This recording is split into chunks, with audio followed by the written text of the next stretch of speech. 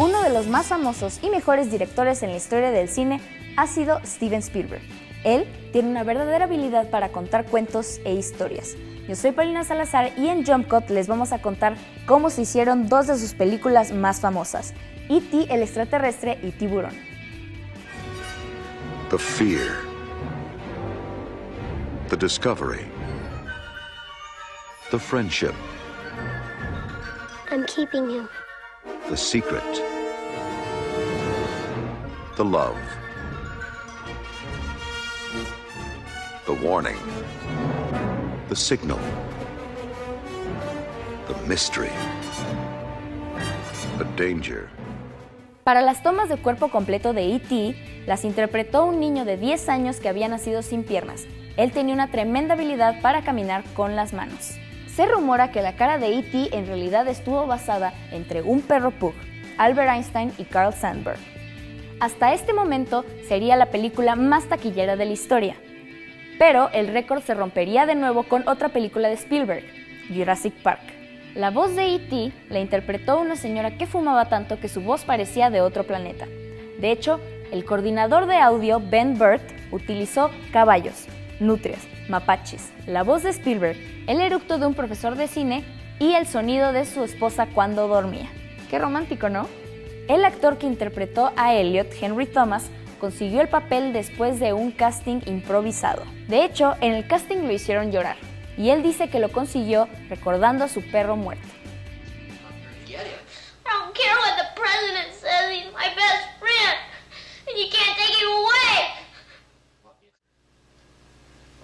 Got the job. Para mantener la autenticidad, Spielberg le dijo a Drew Barrymore que E.T. era alguien real. De hecho, para esto escondían todos los cables debajo del set. Por eso, en la parte en donde E.T. está muriendo, Gertie tiene emociones reales y llora desconsoladamente. El día de la filmación de Halloween, Spielberg se vistió todo el día de anciana. Take me serious. It's Halloween, folks. I'm, I don't dress this way all the time. I'm not trying to get out of the army like Jimmy Farr. This is.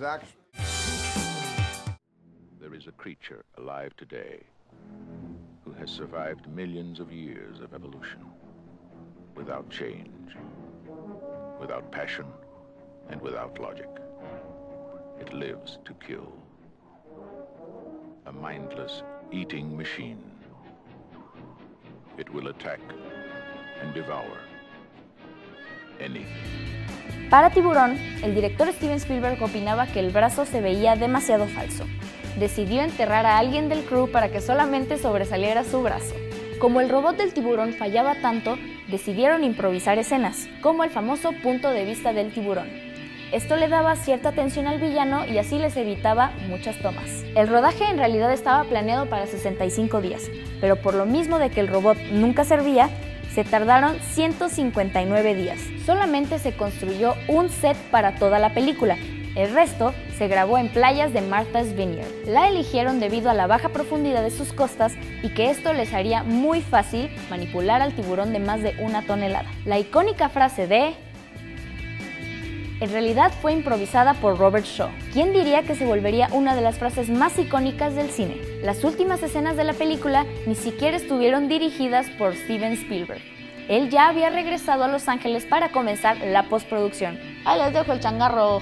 En las audiencias previas, las personas gritaron en la parte de la cabeza en el bote. Por esto, Steven Spielberg decidió filmar de nuevo la escena.